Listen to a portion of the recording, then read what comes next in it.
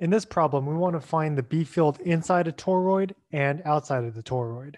And when they say outside of the toroid for part B, uh, it could either mean on the outer side where r is greater than little r, or inside uh, out, you know, inside the circle where r is less than little r. So it's still outside of the coiled solenoid go that goes into a circle, but it's uh, on the uh, smaller radius of the loop. So we can do two things for finding the B field outside of this toroid right here. So looking at um, the B field here that travels along this path, let's just say in this direction, we could see that the B field going through a solenoid is always perpendicular to the current that's going through these little tiny loops in the solenoid, basically for the most part. So the B field's always going to be perpendicular to that. It's always going to be parallel to this path that goes straight through the solenoid. So this dot product is going to go away since the B field's always going to go parallel to the circular path that we have here going through the solenoid. So we'll have B times 2 pi little r. And that's going to equal to mu naught I going through.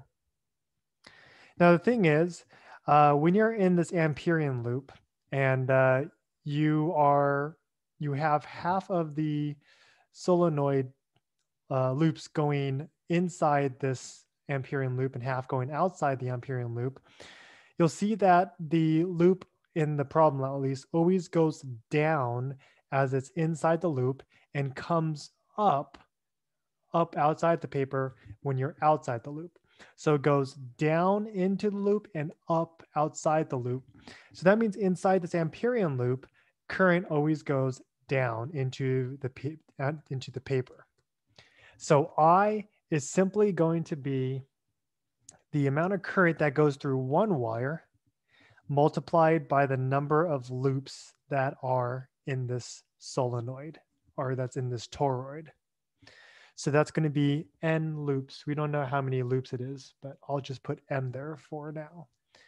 So to isolate B, we're going to have the B field, mu naught, current going through each, the, the wire here, multiplied by the number of turns in this toroid, divided by 2 pi r.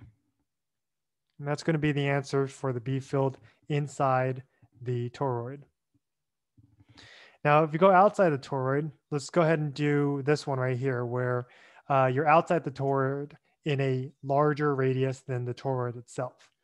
So again, we're going to uh, just do this Amperian loop, and we'll look at how the B field um, uh, is parallel to that Amperian loop. So B 2 pi r, and we'll make, uh, I guess we'll call it r prime. How about that?